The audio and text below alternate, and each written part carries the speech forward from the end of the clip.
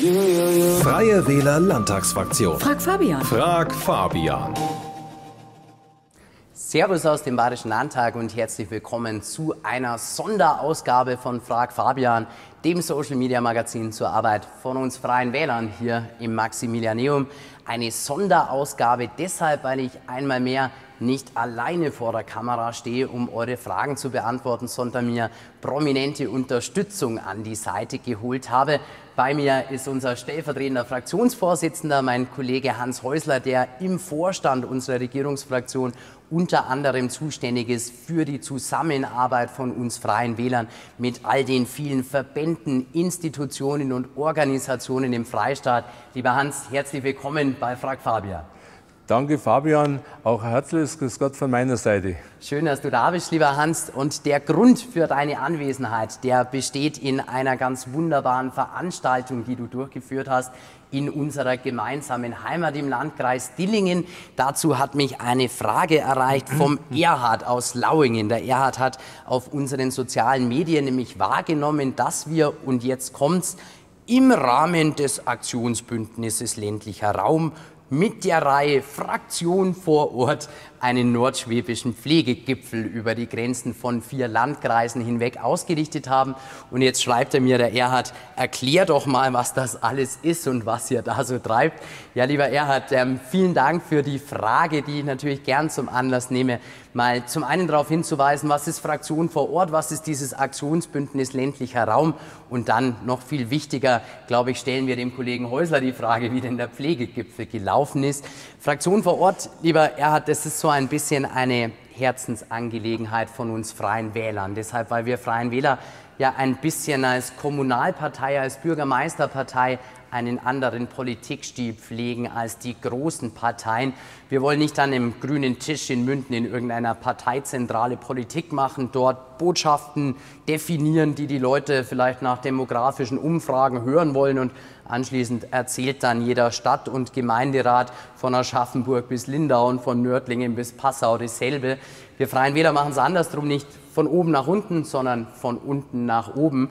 Wir wollen mit beiden Beinen auf dem Boden stehen, mit beiden Ohren bei den Menschen sein, vor Ort zuhören, dort hören, wo es brennt, was den Menschen auf den Nägeln brennt und das dann mit ins Parlament tragen. Und wer so einen Politikansatz pflegt, er hat, der muss gezwungenermaßen und der darf, denn das ist es ja, was uns Spaß macht an diesem politischen Geschäft, bei den Menschen sein. Wir Freie Wähler sind fest überzeugt, richtig gute Politik kann nur machen, wer bei den Menschen ist. Gute Politik entsteht nicht hier, Hans, im Raumschiff Landtag, sondern draußen bei den Menschen. Und deshalb diese Veranstaltungsreihe Fraktion vor Ort, mit der wir ganz bewusst rausgehen, uns nicht hier im Parlament verkriechen und in unseren Büros sitzen, sondern vor Ort mit den Entscheidungsträgern, mit den Landräten, mit den Bürgermeistern und mit den für die jeweiligen Fachthemen verantwortlichen Menschen die Diskussion suchen, um dann deren Ideen sehen als diejenigen, die jeden Tag an der Front unterwegs und im Einsatz sind und wissen, was wirklich wichtig ist, mit ins Parlament nehmen, um damit Politik zu machen. Dazu diese Reihe Fraktionen vor Ort und das Aktionsbündnis ländlicher Raum. Naja, er hat das ist sozusagen freie Wähler-DNA. Wir sind der Anwalt, der parlamentarische Arm des ländlichen Raumes. Daran hat, glaube ich, nicht mal mehr die CSU zwischenzeitlich Zweifel. Und deshalb auch dieses Aktionsbündnis, um all diese besonderen Themen des ländlichen Raums politisch zu pushen, sodass es eben in der Landespolitik nicht nur um München und, und, und die Münchner Speckgürtel geht, sondern dass das, was Bayern ausmacht, die besondere Lebensqualität im Freistaat, nicht zu kurz kommt, nämlich die vielen verschiedenen Regionen unseres Landes mit all ihren verschiedentlichen Vorzügen. Das, lieber Erhard, zum Aktionsbündnis ländlicher Raum und zu Fraktion vor Ort als Veranstaltung und jetzt, Hans, zu dieser konkreten Veranstaltungsreihe Nordschwäbischer Pflegegipfel in Gundelfingen Erzähl, was war da los? Wie ist es gelaufen? Was habt ihr beschlossen? Ja, zunächst, äh, lieber Erhard, herzlichen Dank für dein Interesse für dieses Thema, ein Megathema unserer Zeit. Und da vielleicht auch noch mal ganz kurz äh, kleinen Replik machen auf das Aktionsbündnis ländlicher Raum, das wir ja bereits 2019 bereits beschlossen haben und 2020 öffentlich vorgestellt haben, durfte das von Anfang an auch verantwortlich für die Fraktion mit begleiten. Und das erste Thema und das zentrale Thema, das bisher auch abgearbeitet wurde, ist das Thema Altwerden in der Heimat. Und ein ganz wesentliches Kernthema von Altwerden in der Heimat ist die Pflege. Ist, ist es, zu Hause alt werden zu können, zu Hause versorgt zu werden, ja, im häuslichen Umfeld und so weiter. Und nicht nur Corona hat uns jetzt gezeigt, dass wir insbesondere im Bereich der Pflege viel zu wenige Nachwuchskräfte haben, dass wir viel zu viele Mitarbeiterinnen und Mitarbeiter haben, äh, die vom Beruf überstrapaziert sind, die frühzeitig aus dem Beruf ausscheiden, die den Beruf möglicherweise nicht in jeder Situation auch äh, entsprechend attraktiv finden und die sehr wohl äh, das Recht haben, Gehör zu finden. Und deshalb haben wir als Freie Landtagsfraktion, insbesondere wir als regionale Abgeordnete, äh, auch ganz herzlichen Dank an dich, lieber Fabian, für die Unterstützung.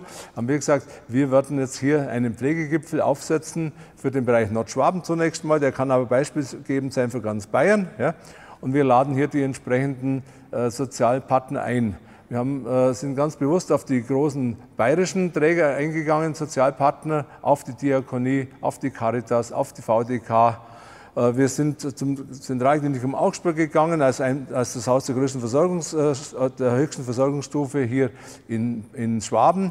Äh, eines der größten Krankenhäuser in Deutschland. Die Susanne Arnold als die Pflegedirektorin und Vorstandsmitglied hat hier ein wahnsinnig profundes Wissen und ein entsprechendes Engagement und hat hier große Verantwortung, trägt sie hier für dieses Haus und für die Pflege in Schwaben allgemein.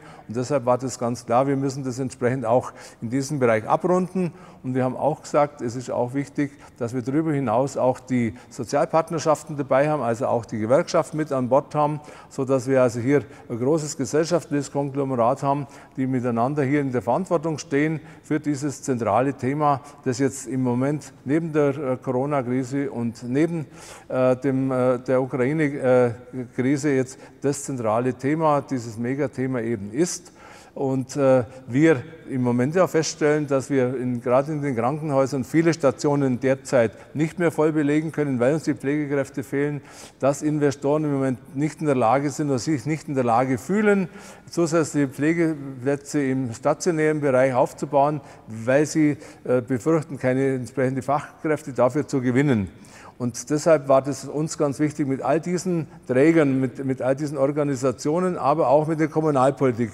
Wir hatten auch vier Landräte angeschrieben hier aus Nordschwaben.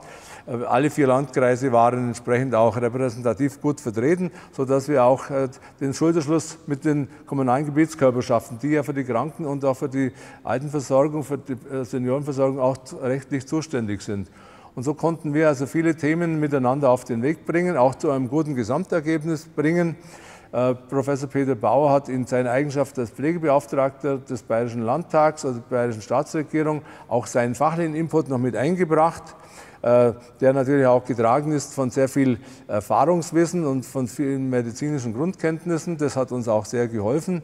Aber ich denke insbesondere die Vertreter auch dann neben den großen Sozialverbänden, die ich gerade genannt habe, auch aus unseren Krankenhauslandschaften, aus den Kreiskliniken, aus der Behindertenarbeit, Regens Wagner zum Beispiel, ja, ganz wichtig, hat uns unwahrscheinlich da geholfen, da zusammen dann eben Lösungsansätze zu finden. Und es waren viele übereinstimmende Fakten, die auf den Tisch kamen und die wir in die politische Arbeit, in die Tagesarbeit auch in Form von Anträgen an den Bayerischen Landtag, Initiativen, Vorschläge auch in Richtung Berlin dann entwickeln wollen und es dann auch entsprechend dann platzieren wesentliche Kernthemen, die eigentlich gar nicht so schwierig waren, die aber dann doch von allen im gleichermaßen äh, auf das Schritt kommen. Man ganz einfach mal äh, die, äh, das Thema Entbürokratisierung der Pflege zum Beispiel. Mhm. Es wurde berichtet, dass, dass also bis zu 50 Prozent und darüber hinaus des Pflegeaufwands Dokumentationsaufgaben sind. Das geht natürlich Wahnsinn. am Pflege und, und das geht auch an der sozialen Bindung verloren. Ja? Am Bett muss die Arbeit stattfinden, in der, in der Wohnung oder egal wo auch immer sich jemand dann aufhält. Das ist ein ganz wesentlicher Punkt. Wir müssen hier diese Verwaltungsentlastung vorne anstellen. Wir müssen den Beruf attraktiver machen.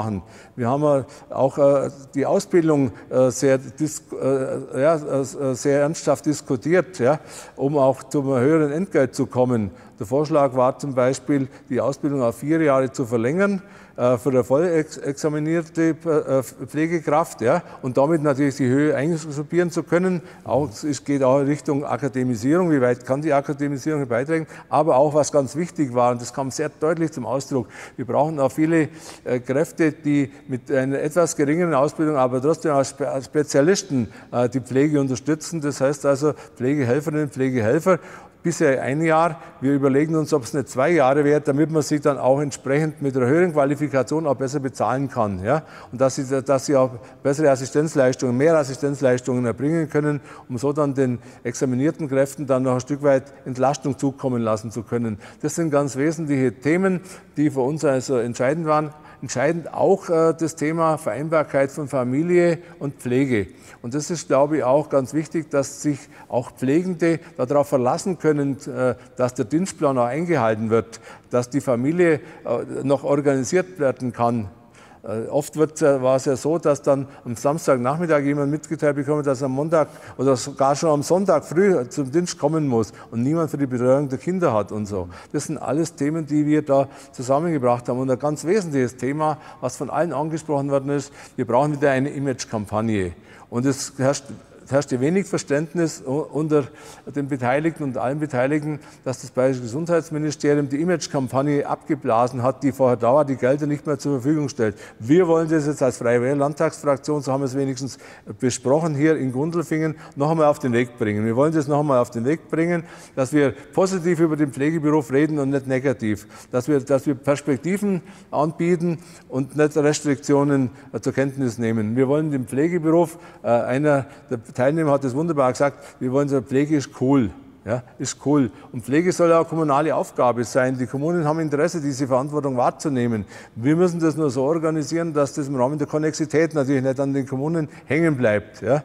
Aber die Verantwortung wollen die Kommunen, die kennen die Situation fort, die kennen ihre Leute und die wollen gemeinsam alt werden. Und damit können wir natürlich, wenn wir hier die äh, Verbindungen zwischen ambulanter und stationärer Pflege enger knüpfen, dann können wir auch natürlich sowohl unsere Krankenhäuser sehr stark entlasten, als auch die Pflegeheime, die Pflegeplätze, die gar nicht vorhanden sind. Das heißt also im Klartext, wenn wir den Menschen ermöglichen, zu Hause alt zu werden, auch bei verschiedenen Krankheiten zu Hause betreut zu werden, dass wir dann natürlich auch das System insgesamt entlasten. Und das ist, glaube ich, auch ganz, ganz wichtig. Und dazu zählt natürlich auch zu dieser Entlastung auch die Tatsache, dass die äh, Betroffenen auch ihre persönliche Perspektive dann entsprechend einbringen können und müssen. Und ich glaube, da gibt es auch Vorschläge von uns, die Gemeindeschwester Plus zum Beispiel, die Assistenzleistungen machen kann, die also das Bindeglied zwischen ärztlicher Versorgung ist und stationärer Verpflegung, äh, äh, Versorgung. Und vielleicht noch eines zum Schluss. Äh, es geht auch um die Angehörigen der zu Pflegenden, denn die Angehörigen äh, sind diejenigen, die oft am stärksten belastet sind. Bei uns in Bayern werden rund 80 Prozent äh, der Pflegefälle von Familienangehörigen und im häuslichen Verbund gepflegt. Ja? Und da brauchen wir auch entsprechende Entlastungssegmente. Das heißt also, wir brauchen stärkere Tagespflege, wir brauchen viel mehr Kurzzeitpflege. Alle äh, äh, Repräsentanten der Organisation haben gesagt, Kurzzeitpflege, Unsinn, rechnet sich für uns nicht. Mhm. Wirtschaftlich nicht darstellbar. Ich stelle, ich stelle Personal zur Verfügung, ich stelle Ausstattung zur Verfügung. Wenn, wenn jemand kommt, kann ich abrechnen. Wenn niemand kommt, kann ich es nicht abrechnen. Ja? Und die äh, haben sich jetzt alle nach und nach von Kurzzeitpflege entfernt. Wir müssen die Kurzzeitpflege auch für den Betreiber wieder attraktiv machen. Wir müssen auf Kurzzeitpflege setzen, sodass, wenn im Krankenhaus jemand entlassen wird, der kann nur dann entlassen wird, wenn eine Nachversorgung da ist, wenn eben entweder die häusliche äh, Betreuung sichergestellt ist oder wenn ein Kurzzeitpflegeplatz da ist. Sonst muss er im Krankenhaus verbleiben. Und genauso ist es eben auch, wenn die häuslichen Pflegenden einmal Regeneration brauchen, mal von ihrem Stress ein Stück weit Abstand gewinnen wollen, wenn sie mal in Urlaub fahren wollen, dann brauchen einen Kurzzeitpflegeplatz. Das sind alles Themen, könnte das noch viel weiter ausführen, die wir hier miteinander besprochen haben, die wir in unsere parlamentarische Arbeit einbringen und die ganz einfach wichtig sind, um das Thema Pflege, um das Thema Altwerden zu Hause, um das Thema ambulant vor stationär äh, auch künftig mit Leben zu erfüllen und äh, von den Versprechungen und, und von den Ankündigungen wegzukommen und in Taten umzusetzen. Das ist unser Anspruch. Ja, lieber Hans, Pflege ist cool, so war es formuliert und noch cooler, wenn ich so sagen darf, finde ich dein leidenschaftliches Engagement ja. für die Pflege, das soziale Gewissen mhm. so ein bisschen gemeinsam mit Professor Bauer unserer Freie Wähler Regierungsfraktion. Deshalb dir ein herzliches Vergelt's Gott, nicht nur für die profunde Beantwortung der Frage von dir, lieber Erhard, sondern vor allen Dingen für all das Engagement mit Herzblut, das da dahinter steckt. Ich glaube, das hat man sehr, sehr deutlich gemerkt und vor allen Dingen auch Gratulation zur hervorragenden Veranstaltung in Gundelfingen. Ich durfte persönlich kurz mit dabei sein und äh, es war wirklich klasse zu sehen, wie da einfach vier Landkreise mit ihren Spitzenvertretern, aber auch all die Organisationen, die eine Rolle spielen, da an einem Tisch saßen und sich kluge Gedanken gemacht haben, was man auf welche Weise verbessern könnte. Und deshalb freue ich mich auch schon auf das Antragspaket. Er hat, da wird man dann wieder von uns hören, das aus diesem nordschwäbischen Pflegegipfel dann erwachsen ist und hoffentlich auf viele, viele Folgeveranstaltungen, sodass nicht nur gesprochen, sondern auch gehandelt ist. Denn genau das, Hans, ist ja immer dein Ansatz. Ich sage vielen Dank für den Besuch bei Frag Fabian. Hoffe, Erhard, wir konnten deine Frage diese Woche beantworten. Und wenn auch ihr eine Frage habt, dann macht es einfach wie immer. Postet sie entweder unten in den Kommentaren oder schreibt uns eine Mail. Dann geht es nächste Woche vielleicht um euer Thema, wenn wir uns wieder aus dem Badischen Landtag melden und es heißt Frag Fabian. Freie Wähler Landtagsfraktion. Frag Fabian. Frag Fabian.